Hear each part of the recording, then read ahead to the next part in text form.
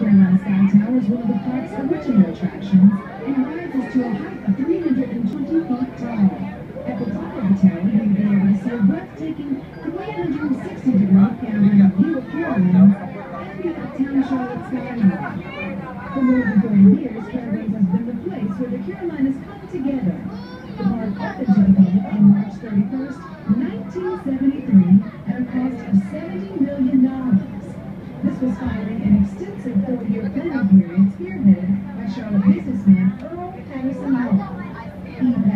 was inspired by a 1956 trip to Disney World and his dreams of bringing the states of North and South Carolina closer together.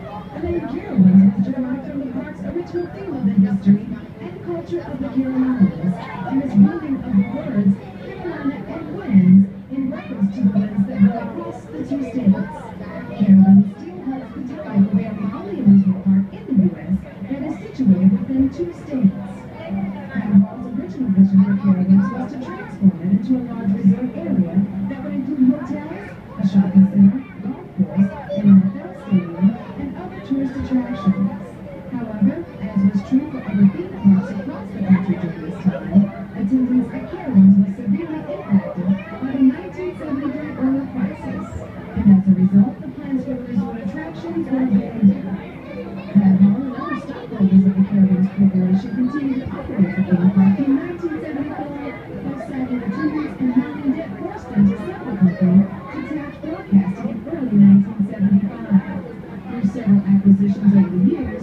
There eventually became part of the Paramount Parks family, which was owned by Viacom and for nearly 13 years was referred to as Paramount's Carowinds.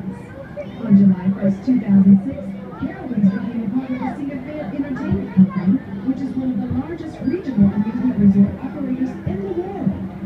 Cedar Fair owns and operates 11 amusement parks, 3 outdoor water parks, 1 past 42 years, Carowinds has seen major spurts with the addition of world-class thrill rides, exhilarating live shows, and the addition of festivals and events throughout the season. Carowinds currently boasts two of the 10 tallest roller coasters in North America and one of the largest collections of roller coasters on the East Coast.